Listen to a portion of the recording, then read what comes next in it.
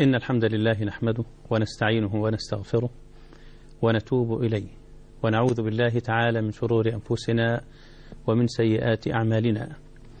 من يهده الله فلا مضل له ومن يضلل فلا هادي له. وأشهد أن لا إله إلا الله وحده لا شريك له وأشهد أن محمدا عبد الله ورسوله. اللهم صل على محمد وعلى آل محمد. كما صليت على إبراهيم وعلى آل إبراهيم. وبارك اللهم على محمد وعلى آل محمد كما باركت على إبراهيم وعلى آل إبراهيم في العالمين إنك حميد مجيد. أما بعد فإن أصدق الحديث كتاب الله تعالى وأحسن الهدي هدي محمد صلى الله عليه وآله وصحبه وسلم. وشر الأمور محدثاتها وكل محدثة بدعة وكل بدعة ضلالة. ثم أما بعد. فمرحبا بكم أيها الإخوة الأحباب في أولى حلقات برنامجنا الجديد القبس شرح موطأ مالك بن أنس رضي الله عنه ورحمه. وكتاب الموطأ للإمام مالك من أمهات كتب السنة كما لا يخفى على أحد. وقد قال الإمام الشافعي رحمه الله تعالى ليس تحت أديم السماء أصح من كتاب مالك. وهذا الكلام قاله الإمام الشافعي قبل أن يؤلف البخاري ومسلم كتابيهما الصحيح.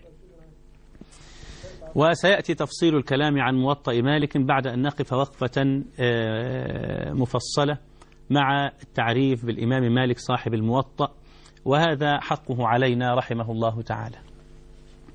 فالإمام مالك رحمه الله تعالى هو شيخ الإسلام وحجة الأمة. إمام دار الهجرة أبو عبد الله مالك بن أنس ابن مالك ابن أبي عامر الأصبحي الحميري حليف بني تيم من قريش فهم حلفاء عثمان أخي طلحة ابن عبيد الله أحد العشر المبشرين بالجنة رضي الله تعالى عنه. فمالك رحمه الله تعالى عربي صليبة من أنفس العرب يعني ليس من مواليهم. وولاؤه لبني تيم أو لبني, لبني تيم نعم ليس ولاء عتق إنما هو ولاء حلف. والعرب كان يجري بينها أحلاف كثيرة يتحالف بعض القبائل مع بعض. كانت هذه العادة الغالبة على قبائل العرب. ولم يكن ينجو من هذا إلا القليل من القبائل. وكان العرب يسمونها بالجمرات. الجمرات يعني القبائل التي لم تعقد حلفا ولا تحتاج لذلك. قبائل كانت عدد يسير عدد القبائل يعني الداخلي بيكون عدد قليل من الرجال ليس بالكثرة الفاحشة. فكانوا يحتاجون أن يعقدوا حلفا بعضهم مع بعض ومعاهدات حتى يستعين بعضهم ببعض في الحروب والغارات وما شابه ذلك ويتقوى بعضهم ببعض. وكان هذا سمتا غالبا لعامة العرب. ولم يفلت من ذلك كما قلت إلا قبائل معدودة كانت تسمى جمرات العرب. والجمرة هي القبيلة التي لا تعقد حلفا ولا تحتاج لذلك. وكان آخر هذه الجمرات بنو نمير. بنو نمير. وظلت بنو نمير على حالها هكذا جمرة من جمرات العرب لا تعقد حلفا ولا, ولا تحتاج إليه. وكان النميري منهم إذا سأله سائل عن اسمه وعن بلده وعن قبيلته كان يتكلم بلسان فخم. ويضخم صوته ويقول أنا من نمير أو من بني نمير. حتى قال جرير قوله الشهير يذم فيه الراعي النميري لأمر وقع بينه وبين, وبين الفرزدق وجرير. فقال جرير يخاطب الراعي النميري فغض الطرف إنك من نمير فلا كعبا بلغت ولا كلابا. في قصة الشيرة قال فيها أبياتا أخرى, أخرى غير هذا يعني يقول يقول له فغض الطرف إنك من نمير. فلا كعبا بلغت ولا كلابا. فهذا البيت أسقط هذه القبيلة من عين العرب وجعلها قبيلة من حطام القبائل يعني. وصار النميري بعد هذا يختبئ بين الناس ولا يظهر نفسه. وهذا إن دل فإنما يدل على قيمة الكلمة عند العرب وعلى أن الكلام عندهم كان له وزن ضخم جدا. فكلمة تسقط قبيلة وكلمة ترفع قبيلة. الشاهد إن عامة العرب كان يجري بينهم حلف. وهذا الحلف يترتب عليه ولاء. فولاء مالك رحمه الله تعالى لبني تيم ليس ولاء عتق. يعني ما كانش مثلا حد من أهله أسير أو كان عبدا ثم اعتقه بنو تيم فهو ينتسب لهم بالولاء بولاء العتق يعني. زي ما كان مثلا من البخاري رحمه الله تعالى فالبخاري مولى الجعفيين. لأن كان جده كان مجوسيا وأسلم على يد الجعفيين فانتسب إليهم. وهكذا.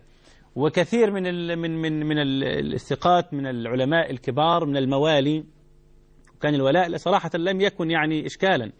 وهذا يدل على سماحة هذا الدين وعلى حفظه حقوق الإنسان وأنه أول دين بل الدين الوحيد ولا يزال إلى الآن هو الذي يحافظ على حقوق الإنسان ولا يفرق بين عبد وحر ولا ذكر ولا أنثى.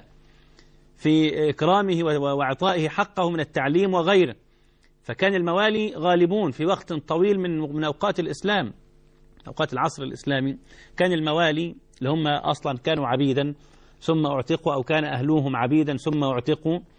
كان كانت بأيديهم نواصي العلم فالقراء السبعة كما ذكرنا ذلك مرارا الذين تدور على قراءتهم قراءات الأمصار هؤلاء السبعة خمسة منهم موالي. كما يقول الإمام الشاطبي في الحرز يقول أبو عمرهم واليحصبي بن عامر صريح وباقيهم أحاط به الولاء يقول أبو, أبو عمرو البصري المازني ده عربي أصيل أو عربي صليبة يعني لم يكن مولى من الموالي. وابن عامر اليحصبي الدمشقي كذلك هذا أيضا عربي صليبة من أصول العرب. وباقي القراء السبعة نافع وابن كثير وعاصم والكسائي وحمزة موالي. موالي يعني كانوا لم لم يكن لم يكن أهلوهم من أصول العرب بل كان في أهلهم مثلا أحد أعتق أو كان مولا أو كان عبدا وأعتق وهكذا. فلم يكن يمنع الولاء أحدا من العلم حتى في قصة شهيرة ذكرها الذهبي ثم حكم عليها بالإبطال يعني بعد ذلك. لكن يستأنس بمثلها في وهي حقيقة يعني لعلها تكون واقع ولم تكن حصلت لكن كان الواقع يملي مثل هذا. إن بعض الشعب تقريبا أو غيره دخل على بعض الخلفاء فساله عن عن كبراء العلماء في الأمصار. قال من بقي بالبصرة؟ فذكر له الحسن بن أبي الحسن البصري. فقال هذا عربي ولا مولى؟ قال مولى. الحسن بن أبي الحسن البصري كان من الموالي رضي الله عنه ورحمه سيد الزهاد وإمام أهل البصرة. حسن البصري كان مولا قال من بقي بالشام؟ قال الأوزاعي. قال العربي أمال قال مولى. قال من بقي بالبصرة قال فلان قال مولى. وهكذا سأله عن أكثر من قطر ويذكر له الشعبي كل من فيهم موالي. حتى سأله عن قطر واحد من الأقطار فذكر له, ذكر له فيه عربي ليس مولى. فقال له عبد الملك بن مروان فرجت عني كدت أموت غيظا. ألم يبقى إلا الموالي؟ الموالي مسكين البلد يعني؟ هم كل حاجة العلم كله في الموالي. وكما سنقول وذكرنا مرارا نافع وسالم ولد نافع مولى عبد الله بن عمر وسالم ابن عبد الله بن عمر. يكاد العلماء يعني آه، يعني يتكلمون في أيهما أثبتوا في عبد الله بن عمر وأحفظ الحديث سالم ابنه ولا نافع مولاه. وهذا يدل على المساواة أهو. يعني هذا عبده وهذا ابنه. العلماء يختلفون أيهم أثبت الناس في, في, في, في ابن عمر. مين روايته أصح؟ وأعمتهم يرجحون رواية نافع على سالم. الجمهور منهم يفضل ويقول أن سالم أثبت وأحفظ لحديث عبد الله بن عمر من ابنه سالم وأنهم اختلفوا في ثلاث أحاديث وكان الحق فيها مع نافع مولى عبد الله بن عمر. هذا عجب يعني. فالشاهد أن مالك رحمه الله كان مولى بني تيم لكن كان مولى حلف كانوا كانوا أحلاف. ما كانش مولى عتاقة يعني ما كانش حد من أهله عبيد ثم أعتق.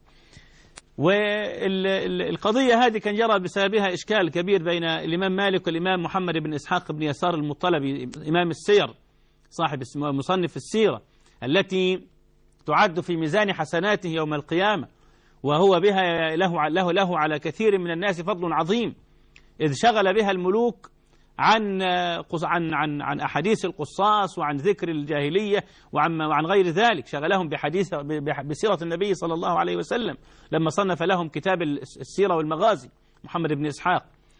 فجرى بسبب هذا إشكال بين مالك ومحمد بن إسحاق بسبب مسألة مولى أن مالك من مولى بني تيم دي كان ابن إسحاق يتكلم في نسب مالك ويقول هو من الموالي هو من هكذا على الإطلاق يعني يريد ان هو يغض به من قدر الإمام مالك وطبيعي. كما يرى يجري في كل زمان الأقران يتنافسون ويقع بينهم شيء من التحاسد والتدابر في طلب العلم. وهذا الخلق لم ينجو منه أحد إلا الأنبياء فقط. فمثل هذا يقع بين الفضلاء ويعفو الله عنه وتغمره حسناتهم الكثيرة. ولا تكاد زمان ترى زمانا يخلو من مثل هذه الأمور. حتى قال ابن عباس خذوا علم العلماء ودعوكم من كلامهم. فإنهم كالتيوس في زروبها. العلماء يقول كالتيوس في زروبها. لو اجتمع تيسان في زريبة وكل تيس حاسس بقى ان هو الفحل الوحيد في المنطقة وهو هو أحسن واحد في الزريبة فلو شم من واحد بده يعمل نفسه عليه يعني راجل هيقعد يضرب فيه من غير سبب ولا حاجة. فكذا العلماء التنافس في علم أداهم إلى مثل هذا أحيانا إلى شيء من يعني اللي هو التحامل يعني والعصبية أحيانا في طلب الخير. وهذا طبعا ذنب ليس في ذلك شك لكن تغمره حسناتهم رضي الله عنهم ورحمهم. فمالك كان تكلم في ابن إسحاق بسبب هذا. إيه ابن إسحاق أول حاجة قال إن مالك من الموالي فمالك طبعا قال عنه ابن إسحاق قال دجال من الدجاجلة. الراجل ده كذاب ولا يعرف حاجة. فإمام ابن إسحاق قال مالك عامل لكم كتاب اسمه الموطأ ائتوني بالموطأ فأنا بيطاره أنا بقى أقول لكم إيه الأخطاء اللي فيه. طبعا هذا كله كلام كما قلت يعني باب التنافس والحدة بين الأقران وكلاهما يعني إمام كبير. لكن مالك أجل بكثير من ابن إسحاق. حتى قال العلماء إن كلام ابن إسحاق في مالك لم يحرك مالك عن موضعه وزن شعيرة. ما حركوش ما أثرش فيه خالص. إن مالك كان ثبت إمام حجة. وكلام مالك هز ابن إسحاق. فابن إسحاق طبعا عند المحدثين فيه ضعف. وخيرهم ما يعني وأحسنهم من يحسن حديثه. لكن الرجل في حديثه كلام يعني. لكنه في المغازي والسير إمام. لا يشاق له فيه غبار. ولا يستغني الناس عن عن سيره أبدا. فمحمد بن إسحاق أمير المؤمنين في السير مع كونه في الحديث متكلم فيه. وده أمر عادي ما فيش إشكال. بعض الناس بالأمر عنده ما ما عندوش أخذ وعطا. يعني هو بلام الراجل تكلمه فيه يبقى واقع. لا مش لازم. يعني هو كل واحد له فنه. ممكن تلاقي واحد في الحديث قوي جدا وفي التفسير على قده. وتلاقيه في اللغة إمام وفي الحديث ما فيش خالص. والقصة الشهيرة قصة أبي قصة الزاهد الشهير بشر بن الحارث الحافي رحمه الله تعالى. لما كان بشر يلحن. كان لما يتكلم بالعربية كان ربما يلحن في كلامه. يقع له أخطاء يعني. فعرضوا عليه أن يعلموه النحو. هو كان إمام في الزهد إمام في أمور كثيرة رضي الله عنه ورحمه. فقال ماشي نتعلم النحو. فجاء المدرس بيعلمه قال له مولانا قل ضرب زيد عمرا. فقال له بشر ولما ضربه؟ طب بضربه ليه؟ عمل فيه إيه؟ فقال له يا سيدنا الشيخ مش القصة مش كده خالص أنا مش واخد بالك. لا ضربه ولا حاجة يا عم ده مثال. قال له كمان بتكذب علي علم أوله كذب والله لا تعلمته أبدا ولم يتعلم النحو. فظل يلحن كان يقع له إن هو ممكن يرفع يرفع المنصوب وينصب المرفوع وكلام من ده. ولم يعكر هذا على على فضل بشر لأنه كان ده مش ما كانش بابه. خلاص نعرف إن هو كان بيخطئ في النحو ما ناخدش عنه النحو لكن نستفيد بعلمه وبفضله في باب آخر. وهكذا العلماء. اللي تلاقي عنده قصور في شيء من الأشياء بتلاقي عنده حاجة تجبرها عنده فتح له في باب آخر. فهذا لا يعكر عليه. هو قصار الأمر ان هو لا يؤخذ عنه ما أخطأ فيه لكن يستفاد بعلمه فيما أجاد فيه. فده اللي وقع بين مالك وابن إسحاق كان سببه كما قلنا مسألة الولاء وكلامه في بعض وهذا كلام يعني عفى عليه الزمن ولا يؤخذ منه شيء. ينبغي يعني إيه إغلاق الباب. وكما قلت لن ترى عصرا يخلو من مثل هذا. فوقع مثل هذا بين أبي حنيفة وسفيان الثوري. ووقع مثل هذا بين الإمام ابن مندة وأبي نعيم. ووقع مثل هذا بين الحافظ ابن حجر في المتأخرين والإمام العيني المحدث الفقيه الحنفي الشهير صاحب عمدة القاري ووقع بين السيوطي والقسطلاني شارح البخاري. ولا يزال يقع هذا بين الفضلاء. كما قلت لما ذكرناه في مطلع الكلام. مالك بن أنس آه البعض يظن أنه آه حفيد أنس بن مالك لأن اسمه مالك بن أنس بن أنس. مالك ابن ما اسمه مالك ابن مالك ابن أنس بن مالك فالبعض يظنه ابن أنس بن مالك الصحابي الشهير. وهذا طبعا هذا لبس وخلط. فمالك ابن أنس ابن مالك ابن أبي عامر هذا صاحبنا الإمام إمام دار الهجرة. وهو ليس ولد أنس بن مالك وإنما ولد مالك بن أنس في العام الذي توفي فيه أنس بن مالك. في عام في في في عام 93 للهجرة توفي أنس بن مالك صاحب النبي صلى الله عليه وسلم وهو نفس العام الذي ولد فيه مالك بن أنس ابن أبي عامر إمام دار الهجرة. وهذا إن دل فإنما يدل على أن الله تعالى لا يخلي الأرض من قائم له بالحجة وأنه كلما ذهب إمام حل, مع حل مكانه إمام. وهذا علامة رضا الله تعالى عن, عن, عن الناس أنه لا يزال يعني يبدلهم بإمام إماما ولا يخلي الأرض من قائم له بالحجة. كما قال النبي صلى الله عليه وآله وصحبه وسلم فيما في الصحيح من حديث هشام بن عروة ومالك بن أنس عن عروة بن زبير عن عبد الله بن عمرو بن العاص أن النبي صلى الله عليه وسلم قال إن الله لا ينزع العلم إن الله لا يقبض العلم انتزاعا ينتزعه من صدور العباد ولكن يقبض العلم بقبض العلماء يقبض العلم بقبض العلماء فإذا لم يبق عالما اتخذ الناس رؤوسا جهالا فضلوا وأضلوا. طب إذا قبض عالم وجاء مكانه بعالم يبقى لسه في خير. ما دام بيكون له خلف إذا مات العالم خلفه عالم آخر فلا يزال الناس بخير. لكن متى يضل الناس ويهلكوا؟ إذا ذهب العلماء ولم يقم بعدهم عالم فقام الجهال. فسئلوا فأفتوا بغير علم فضلوا وأضلوا. لكن ما دام بيجي خلف من ذلك السلف الخير فالأمر على الخير لا يزال والحمد لله. فالعام الذي مات فيه أنس بن مالك أبو حمزة الأنصاري خادم النبي صلى الله عليه وسلم ولد فيه الإمام مالك ليه كأنه يعني قائم يسد الثغر الذي خرم وفتح بموت أنس بن مالك الصحابي الجليل رضي الله تعالى عنه. أهل مالك كانوا أهل علم فأبوه أنس أبوه أنس بن مالك بن أبي عامر كان معروفا له رواية يعني وعمه ويس وعمه أبو سهيل وهكذا كان مالك في بيت بيت علم. وده كان كان شأن كثير من بيوت العلم من بيوت العلم يومئذ. كانت عامة البيوت فيها علماء. تلاقي الأب عالم أو أو العم أو الخال أو الأخ الأكبر أو الإخوة جميعا أو العائلة كلها أهل علم. كان العلم مشتهر جدا بين الناس. كاشتهار الكورة النهاردة بين الخلايق شوف النهاردة الجماهير اللي تسمع كورة قد إيه وطبعا ما بياخدوش حاجة للأسف. ليتهم يعني يبذلون أوقاتهم هذه ويتعبون أنفسهم ويحرقوا دمهم ويرتفع ضغط دمهم. في حاجة بيستفيدوا منها حاجة. اللي بيلعب كورة ماشي بيعمل حاجة. اللي بيلعب بيستفيد. أه بيجري دمه على الأقل وممكن يكسب حاجة ولا كلام من ده. لكن اللي قاعد ده عمال يعني يضغط في نفسه هينفجر ومتعصب وعمال يشد في شعره. لو جا جون ولا ما جاش جون ده بياخد إيه ما تعرفش. بس عايز أقول إن إن العلم كان يومئذ مشتهرا كاشتهار مثل هذه التفاهات اليوم التي شغل بها الناس عن معالي الأمور. والله تعالى يحب معالي الأمور ويبغض سفسفها وهذه من سفاسف الأمور. إن الأمر يصل كما رأينا مؤخرا إن تكاد يعني تتخاصم بلدتان كبيرتان من بلاد المسلمين بسبب هذا الكلام الفارغ. هذه مصيبة جلل. يعني ده أمر لا يستحق أصلا الالتفات إليه. مش قيام الدنيا من أجله. والصدر بعضهم في الماء العكر. الصحفيين العملاء بدأوا يهيجوا الدولتين حتى تقوم فتنة. الله أعلم بما وراءها. لا لسبب. والله تعالى المستعان. فكان العلم سائد وهذا الذي رفع هذه الأمم وملكها نواصي الدنيا ووضع العالم كله تحت أيديها. أن العلم كان سائدا يومئذ. لكن اليوم ساد الجهل.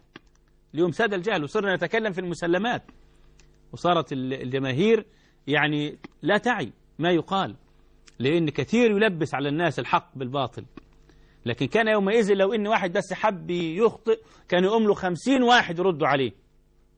ولهذا ما كان يجرؤ أحد على التلبيس. ليه؟ لأنه العلماء كثير قوي وكلهم علماء ربانيين عامتهم. والمبتدع فيهم منبوذ معروف واحد واثنين معروفين بالاسم. لكن كان الناس أهل خير وأهل علم. علم كان فاشي بين الخلائق. وكان يعرفه الكبير والصغير وكان الجميع ينتسب إلى العلم شرف له.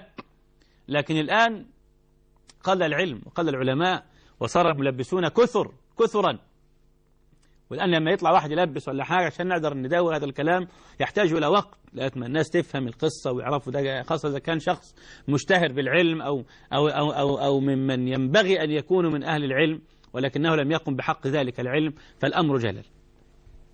وصرنا نتكلم في الأصول ندافع عن أصول الدين ضد المسلمين. يا ريت مثلا كفار بيتكلموا أو جماعة مستشرقين ده مشايخ يطعنون في أصول الدين ويلبسون على العوام ويجتمعون على الباطل.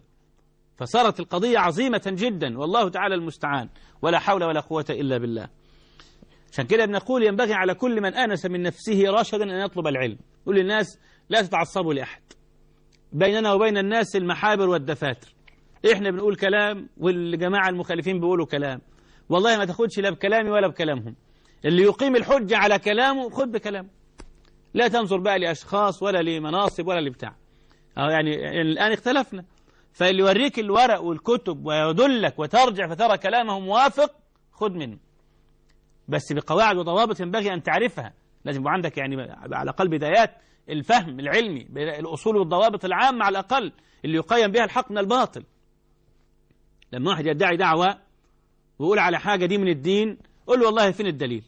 ما جابش دليل أنت مش ملزم باتباع حد إلا أن يقيم لك دليلا شرعيا. أقامه الله تعالى لخلقه وأمرهم باتباعه. عن هذا يسأل الله الناس. ولو واحد قال لك ده مش من الدين قول له أثبت ذلك. ما مش ينفع يكون حاجة مش من الدين وجاي نص عليها قد كده.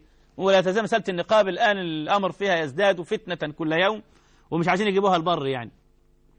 والأمر فيها منتهى من يعني كلام فيها عبث. كلموا في إيه؟ الأمر ده منتهى منه جدا. إجماع العلماء وإحنا أقمنا على هذا الحجة. والكتب ملأة بذلك. لا ينكرها إلا مكابر أو جاحد. كتب أهل العلم من المذاهب الأربعة. ملأة ملأة بالحث على هذا على هذه الشعيرة الإسلامية على النقاب. وهم بين موجب له أو حاكم بفضيلته. وحتى لأنه هو سنة كالشافعية والمالكية وكالشافعية والمالكية أو بعض الأحناف قالوا إن هو في وقت الفتن يجب لبسه وكلامهم موجود كتبهم المشتهرة على مر الزمان موجودة. لو أي واحد طالب علم مسك كتب وقلبها كتاب كتابها هيلاقي الكلام واضح جدا مش محتاج كلام فبتكلموا في إيه المشايخ؟ فالأمر يحتاج إلى أن الناس تعي وهذا لا يكون إلا بطلب العلم هم يعرفوا بقى الحق من الباطل يعرفوا فين الأصول والضوابط وفين العلم حتى يعرفوا أهله ولا يلتبس عليهم الأمر. فمالك رحمه الله تعالى كان حريصا على هذا. أول ما بدأ بس يشب عن الطوق طلب العلم وهو حدث هو صغير السن. بعيد موت القاسم وسالم فهو ما أدركش سالم ولا أدرك القاسم. فبدأ بقى يأخذ عن نافع مولى بن عمر وعن سعيد بن أبي سعيد المقبوري وعن عامر بن عبد الله بن الزبير وعن ابن المنكدر وعن الزهري وعبد الله بن دينار وجماعة وشيوخ مالك كثر. كان مالك ثبتا في الأخذ ثبتا في الأداء وما كان يحدث إلا عن ثقة. مالك ما كان يحدث إلا عن ثقة. وهذه قاعدة أي نعم هي غير غير غير مضطردة 100% لكن الأعم الأغلب على شيوخ أنهم ثقات. وإن شئت فقل هم ثقات عنده على الأقل. حتى لو طلع فيهم واحد في كلام يبقى على مذهب غيره من العلماء لكن على مذهبه هو ثقات. فملك انتقى ولزم الكبار من العلماء وتشرب العلم وأخذه عن أصوله. واتقى الله تعالى فبورك له في علمه. والعلم ليس كثرة الطلب ولا كثرة الحفظ ولا الاطلاع لا. إنما العلم الخشية إنما العلم العمل إنما العلم الخوف من الله عز وجل وإن قل المطلوب. وده الفرق بين علم السلف وعلم الخلف. تجد الرجل من هؤلاء من السلف من السلف الصالح من التابعين وأتباعهم وأتباع أتباعهم وهذه الثلة المباركة. قد ترى العالم ليس له من الكتب شيء مش مؤلف ولا كتاب. ومحفوظه من العلم ليس بالضخم. ومع ذلك بورك له في علم لأنه عمل به وقصد به وجه الله. فنفع الله به الأمم وينفعها به إلى يوم القيامة. فدي البركة. كلام السلف تلاقيك قليل جدا تلاقي السلف كلامهم لو اتجمع يتعدى على الصوابع. بس كل كلمة ينفع الله بها أمة من الأمم. ممكن واحد ياخد كلمة من هذا الكلام ويشتغل بها طول حياته. تكفيه لأنه كلام خرج من القلب إلى القلب. كلام قصد به وجه الله. فنفع الله به. وما كان لله دام وبقي. وما كان لغير الله فسد. ولم يصل إلى شيء. فده كان علامة ولا تجد الواحد منهم كما قلت على فضله وعلمه وجلالته. وأنه يحفظ ما يحفظ. ولا ترى له كتابا أو كتابا يسيرا أو مصنفا صغيرا. لكن النهاردة ما بيتباهوا بكثرة الكتب. يقعد يعمل على آخر كل كتاب. تسعين كتاب هو لعله ما أراهمش أصلا ولا حط فيهم قلم ده مدمومين من هنا وواحد عملهم لواحد من الكمبيوتر والبتاع وهو لا يعي ما يكتب ولا يعمل بشيء مما كتب. بها كلها لنيل المناصب والشهادات العلمية والدرجات والوظائف. فلا فلا تكاد ترى يفلح من هؤلاء أحد. لا تكاد يرى ترى ترى يفلح من هؤلاء أحد. فالإمام مالك رحمة الله تعالى عليه كان كسمت هؤلاء السلف الصالح كان عالما ربانيا يتعلم ويعلم ويعمل ويخاف الله عز ويتقي الله فيما علم ويجل العلم كان يجل ولهذا أجله الله ورفعه وده شأنهم جميعا رضي الله عنهم ورحمهم. فمشيخة مالك مشيخة كثيرة شهيرة كما قلنا من أشهرهم نافع مولى عبد الله بن عمر وعامر بن عبد الله بن الزبير وابن المنكدر والزهري وعبد الله بن دينار والمقبري وجماعة كثيرون. وقد حدث عن مالك على قدر جلالته في الأخذ عن الشيوخ على قدر ما يطلبه الناس. حدث عنه كثيرون جدا. يعني آه، أفرد الإمام الذهبي جماعة منهم بلغوا أكثر من 1400 من أشهر من روى عنه روى عنه بعض شيوخه وده شرف للراوي. الطالب أو العالم لما يروى عنه شيوخه هذا يدل على آه، أنه سبت وأنه إمام بحيث يروي عنه شيخه. وده قل ما يكون إلا مع الكبار. فترى مالك يروي عنه من شيوخه عمه أبو سهيل ويروي عنه يحيى بن أبي كثير التابع الشهير ويروي عنه محمد بن شهاب الزهري وهو من شيوخه ويروي عنه يحيى بن سعيد الأنصاري ويزيد بن الهاد وابن أبي أنيسة وعمر بن محمد بن يزيد وجماعة من شيوخه يروون عن مالك. ولما يروي الشيخ لما يروي الطالب عن شيخ ويروي الشيخ عن الطالب ديت بيسموه الايه بيسموه العلماء المدبج. المدبج يعني المزين. إن الطالب روى عن الشيخ والشيخ روى عن الطالب. وهذا يدل على جلالة الشيخ وعلى فضل على فضل الطالب وعلى رفعة شأنه عند شيوخه ثم ارتضوه أن يكون شيخا لهم في الرواية في بعض الأحاديث. وروى عنه طبعا من أقرانه كثيرون معمر بن راشد البصري وابن جريج وأبو حنيفة وعمر بن الحارس والأوزاعي وشعبة والثوري. علماء الدنيا. رؤساء العلماء في الأمصار رووا عن مالك. شعبة إمام أهل البصرة والثوري إمام أهل الكوفة والأوزاعي إمام أهل الشام وأبو حنيفة إمام العراق ومعمر بن راشد. وجماعة من كبار العلماء من أقرانه رووا عنه. وده يدل على فضل مالك حتى بين أقرانه. هم يعدونه إماما ثبتا.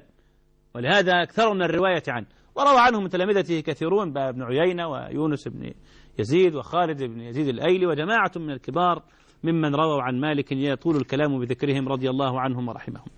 لكن آخر أصحاب مالك موتا هو أبو حذافة آه، أحمد بن إسماعيل السهمي.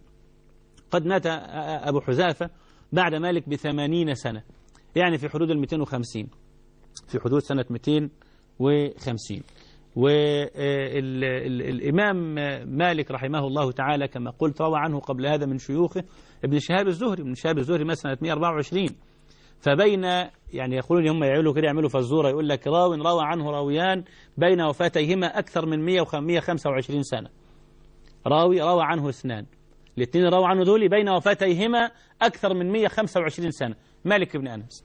روى عنه شيخه محمد بن شهاب الزهري متوفى سنة 124 وروى عنه أبو حذافة السهمي توفي في حدود 250 أو 200 حاجة و50 وبين وفاتيهما 125 سنة أو أكثر. وهذا ما يسميه العلماء بالإيه؟ بالسابق واللاحق. الخطيب صنف كتاب في هذا الفن في اسمه السابق واللاحق. إن تلاقي شيخ روى عنه سابق ولاحق. روى عنه واحد متقدم جدا وروى عنه واحد بعديه بكتير خالص. فترى وفاة ما بين ترى سنة, سنة وفاة الشيخين بينها أعوام كثيرة جدا. نعم. وطلب مالك العلم وهو ابن, ابن بضع عشرة سنة. وتأهل للفتية. وجلس للإفادة وله إحدى وعشرون سنة. في أوائل العشرين كان مالك مؤهل. أنه يفتي ويتكلم في دين الله تعالى ويفيد الطلاب. وحدث عنه جماعة وهو حي وهو آه، شاب طري. لسه في ريعان الصبا يعني. وقصده الطلاب من الآفاق في آخر دولة أبي جعفر المنصور. وبعد ذلك وازدحموا عليه في أيام الرشيد. وإلى أن مات رحمه الله. يعني مالك من أول ما بدأ من أوائل العشرينات كده أو قبلها بشوية وهو محل نظر طلبة العلم.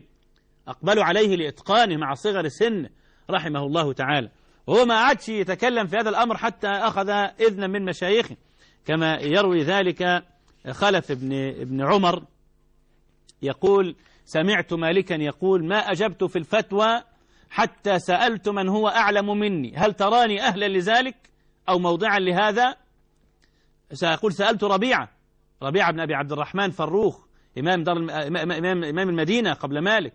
وسألت يحيى بن سعيد الأنصاري. سألت سألتهما هل ترياني موضعا للفتية ينفع أتكلم في الدين؟ ينفع أنا أجيب على الأسئلة وعلى الفتية قال فأمراني بهذا. أو تنفع واشتغل يلا.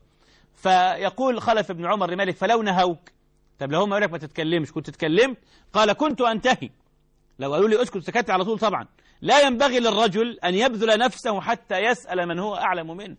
الموضوع مش بسيط ومش مسألة تصدر والسلام. الواحد ما ينفعش يتكلم إلا لما مشايخه تجيزه تقول والله أنت تنفع أنت راجل كويس كده وعلمك بقى علم منضبط وبقى عندك عندك خلفية كويسة وبتفهم وتتقي. الله اتكلم بقى في دين الله. لكن قبل هذا ما ينفعش حد ينط يتكلم كما يحدث الآن وما أكثرهم. جماعة الجدد دول اللي ما أعرفش جايين منين بالظبط. الواحد مؤهلاته كلها في الدنيا وفي العلم انه بيتكلم كويس إن هو عنده يعني عنده طلاقة في اللسان وفهلوة في الكلام. وبيقعد يتحرك كتير ويقوم يقعد وكلام من ده. بس مؤهلاته. وبعد ما يحس إن هو عنده هذه المؤهلات يبدأ يحفظ له كلمتين في الدين هنا وهناك ينتشهم هنا ومن هناك ويطلع يتكلم في دين الله. وفي الأول يقول لك والله طب ده هو أخ كويس وبيحاول ينفع ربنا مجمع حوالين الناس ومش عارف إيه. نقول ماشي. خليه في اللي هو يفهم فيه خليه كأنه راجل بيسوق يتكلم يعني على قده وما يخرجش عن الطوق. أول ما يتلم حوالين الناس يحس إن هو بقى إمام الأئمة ينسى نفسه ينسى على طول. مجرد ما لقى الناس بتلف عليه بقى فضيله الشيخ وحضرتك وسيادتك و... والداعية الإسلامي والبتاع هيعيش الدور وينسى إن هو لسه بيتعلم بل لسه ما اتعلمش أصلا. وإنه محله محل طلاب العلم الصغار. فتلاقيه خرج عن الطوق ويبدأ بقى إيه ينطح الجبال. ويقول بقى في دين الله اللي هو عايز ويفتي ويخالف العلماء ويخترع أقوالا من عنده ويقول هذا عندنا جائز وهذا عندنا غير جائز. يقولون هذا عندنا غير جائز. ومن أنتم حتى يكون لكم عنده؟ أنت نسيت نفسك ولا إيه؟ تصدر للتدريس كل مهوس بليد تسمى بالإمام المدرس. فحق لأهل العلم أن يتمثلوا ببيت قديم شاع في كل مجلس لقد هزلت حتى بدا منه زالها كلاها وحتى سامها كل مف... كل مفلس. دي بقت مصيبة بقت فضيحة. بقى كل واحد بيعرف يتكلم كلمتين على بعض روح قاعد ويتكلم بقى في دين الله. وفي الأول كما قلت بيبقى بيتكلم بقى بحذر بحيث الناس تقبله ومحدش يطعنه قبل ما يتكلم. ومحدش يقول لا ده ده جاهل ما يفهمش حاجة. يقعد ماشي في الديرة كده جنب الحيط يعني. أول ما يحس إن الدنيا اتلمت حواليه خلاص بقى بقينا زي. تساوت الروس الشيخ بيحضر له 1000 وأنا بيحضر لي 5000 فأنا أحسن من الشيخ مش بالعدد. اللي بيحضر في المطرب أكثر منك بكتير. اللي بيحضر عند المطربين وعند الرقصين أكثر منك مئات المرات. ولو قالوا إن بكرة حفلة فلانة المطربة هيتلم لها اللي عندك كلهم يطلعوا يقعدوا عندها ويسيبوك. فمش بالعدد. لو هي لو الموضوع بالكوم وبالراس يعني كان بقى المطرب أحسن منك. وبقت الراقصة أحسن منك. لا هي مش بهذا. بالعكس ده الكثرة دليل خوف. الله تعالى ما ذم إلا الكثرة في كتابه. قال ولكن أكثر الناس لا يعلمون ولكن أكثر الناس لا يفقهون. وقال وما أكثر الناس ولو حرصت بمؤمنين وما يؤمن أكثرهم بالله إلا وهم مشركون. ومدح القلة قال وقليل من عبادي الشكور. فده مؤشر مش مؤشر يبسط الإنسان أنه يلاقي الناس حواليه كتير. لا دي فتنة وده خطر. فالمرء ينبغي أن هو يتقي الله وما يتكلمش غير ما يت... قبل ما يتأهل يتعلم قبل أن يتكلم.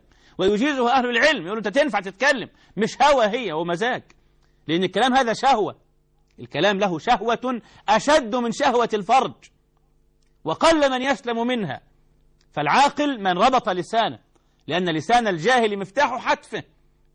إن لم يكن في الدنيا ففي الآخرة. هيقول كلمة هو مش قدها. قد يهوي بها في النار سبعين خريفا. ولن يعذر بجهل إنه قاعد يتكلم ليه؟ الجاهل يعذر لكن واحد قاعد متصدر للناس. يقول لك أصل جاهل يعذره ما يعذر ما لا يعذر.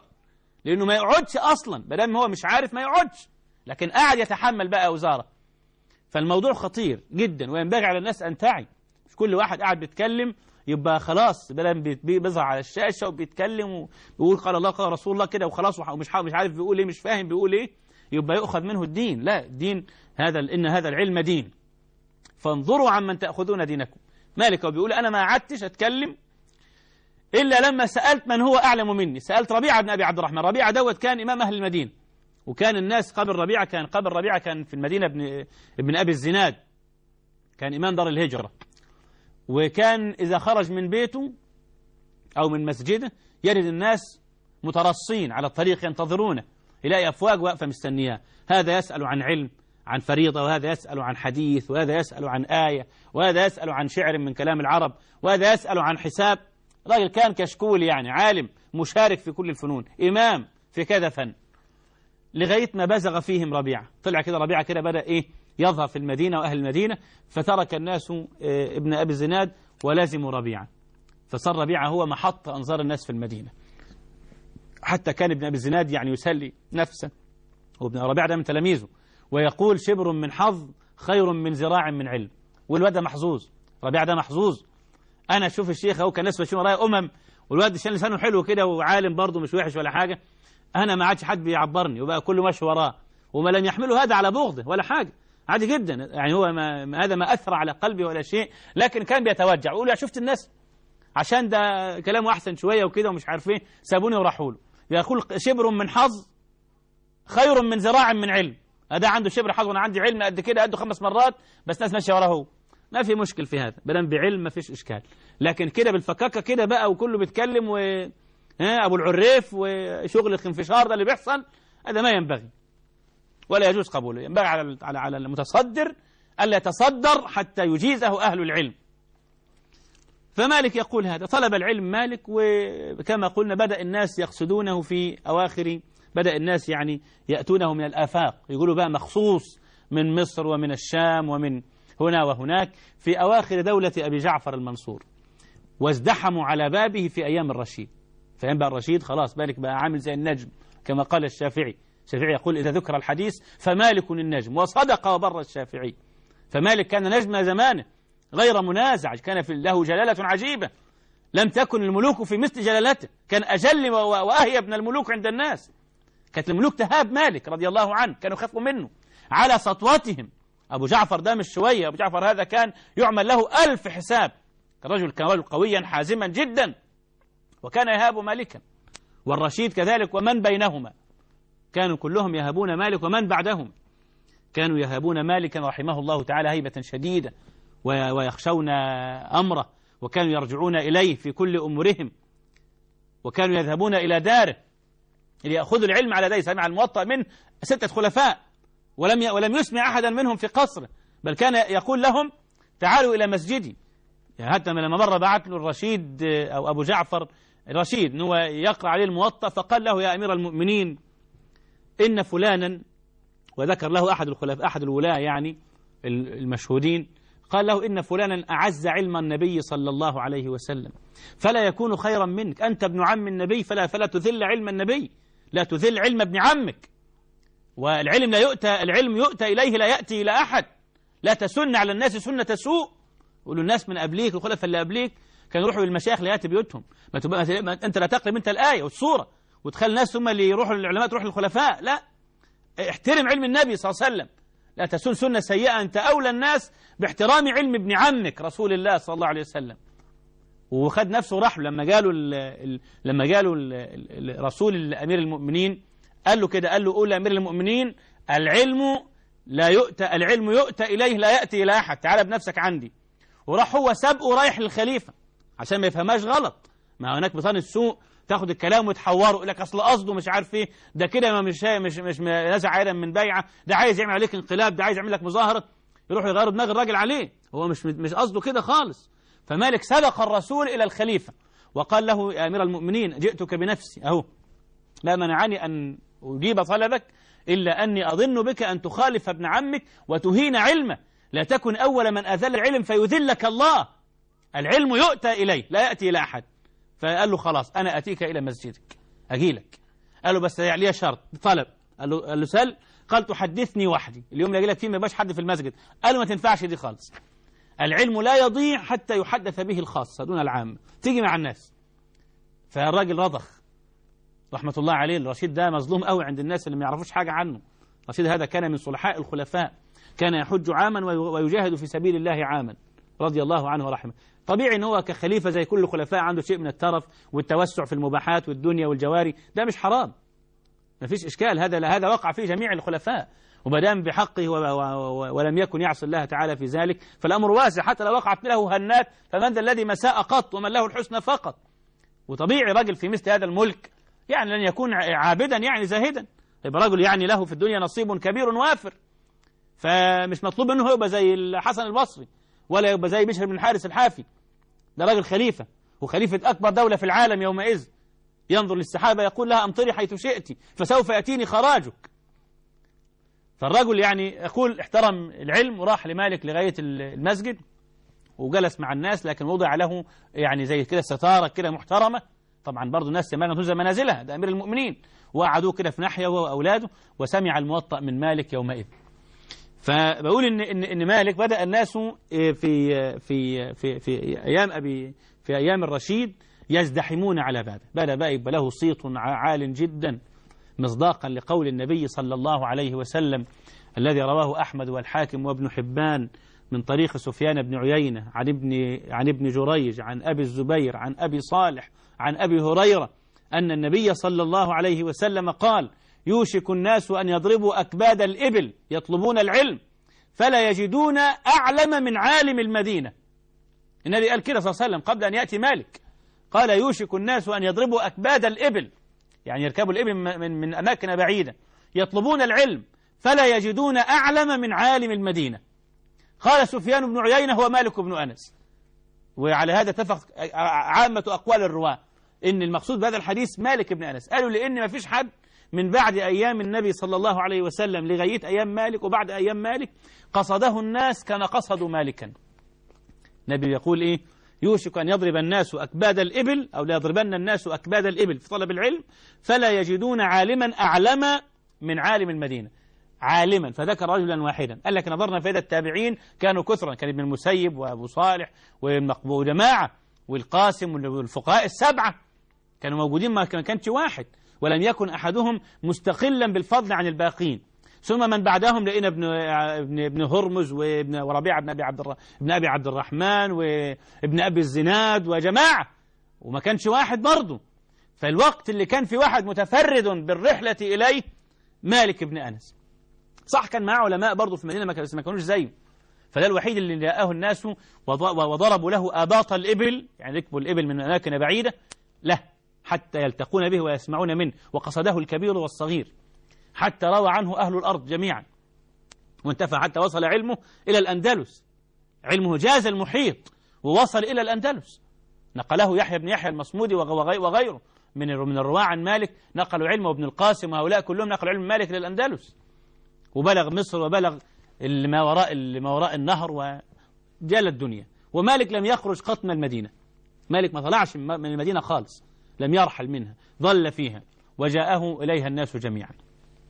في هذا الحديث كان المقصود به مالك رحمه الله تعالى.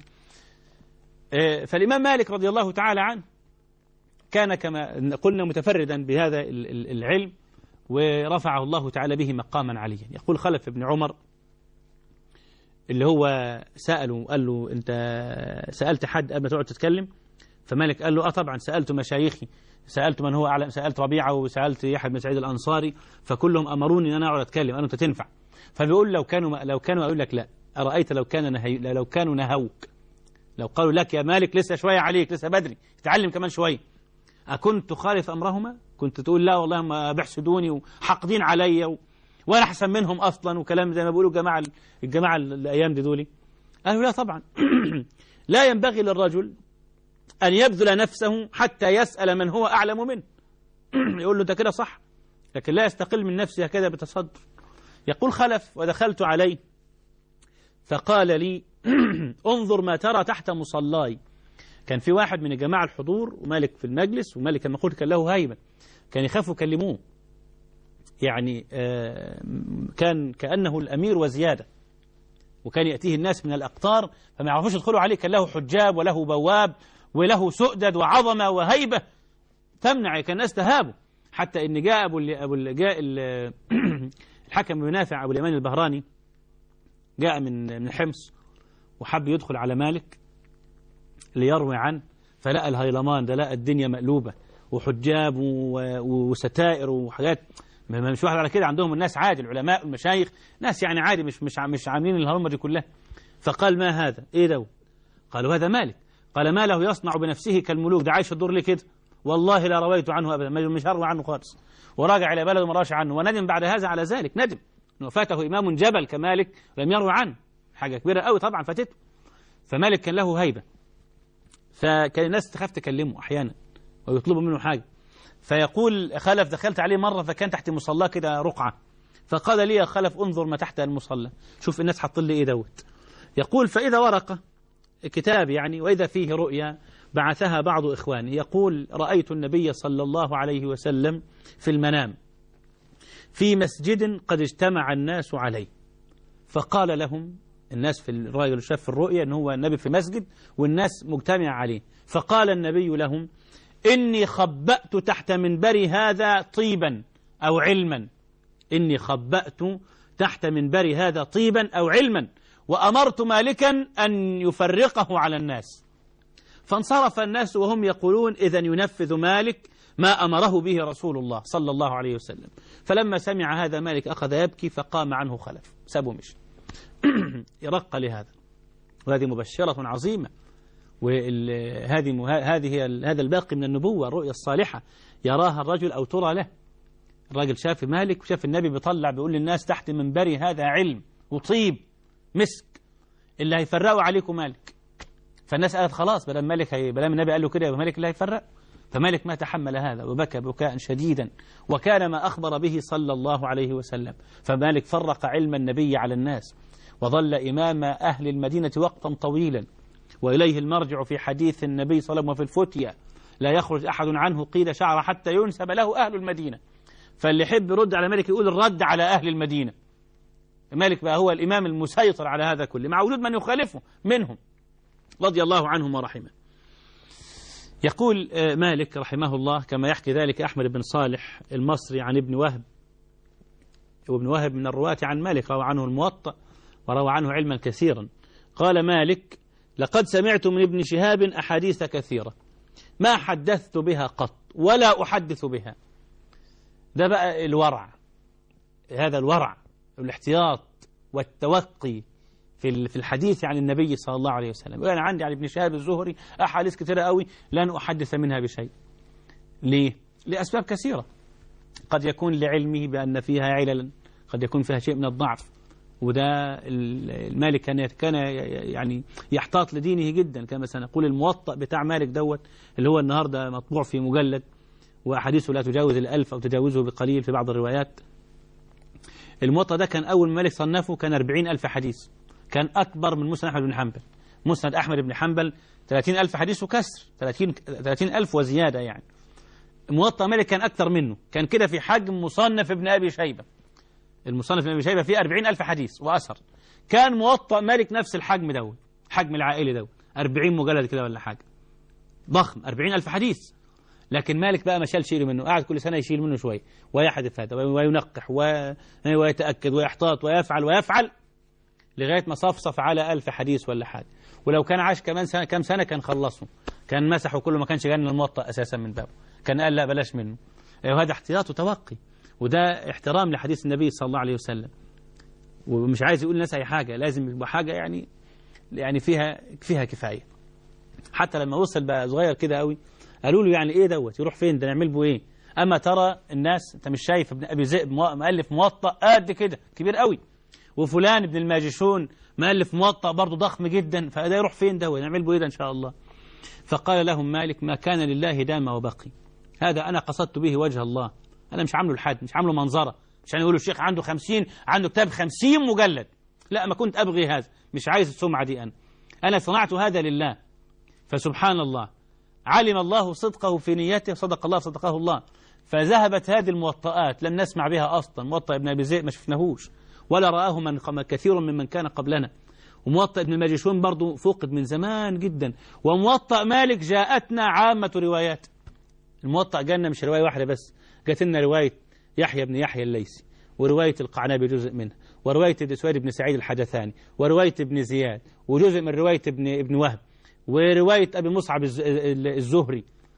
وجنة أكثر من ست سبع روايات من الكتاب مش حتى مش مش نسخة واحدة. لا روايات متعددة. ورواية محمد الحسن الشيباني موطأ محمد اللي بيسموه موطأ محمد يا جماعة الأحناف هو موطأ مالك لكن برواية محمد الحسن الشيباني.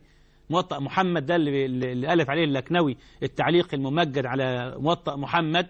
ده مش موطأ محمد بن حسن مش تأليف محمد الحسن الشيباني. ده هذا تأليف مالك لكن رواية محمد بن حسن الشيباني. فسموه موطأ محمد. تمييزا له عن باقي الموطئات اللي هي كلها المالك ولكن تختلف بأسماء الرواة عن مالك. موطأ القعنبي وموطأ ابن وهب وموطأ ابن زياد وموطأ ابن الحسن الشيباني وموطأ فلان وعلان وهكذا. فنقلت لنا كثير من نسخ موطأ وهذه من بركة العلم وبركة الإخلاص. رضي الله عنه ورحمه. ما كان لله دام وبقي. فبيقول أنا سمعت من ابن شهاب أحاديث كثيرة. ما حدثت بها قط ولا أحدث بها. وقد يكون بعض هذه الأحاديث في أمور الفتن. اللي ممكن الحديث بها بين الناس يعمل بلبلة والنبي صلى الله عليه وسلم يقول حدثوا الناس بما يعرفون. يعني ما, ما أنت بمحدث قوما حديثا لا تبلغه عقولهم إلا كان لبعضهم فتنة. تقول واحد تقول واحد حديث ما يفهموش ومش مستوعب ممكن يفتن. فحدثوا الناس بما يعرفون. يعني ال ال ال الكلام عن مالك يطول جدا ونتم في اللقاء القادم إن شاء الله تعالى. أقول قولي هذا وأستغفر الله لي ولكم والسلام عليكم ورحمة الله وبركاته.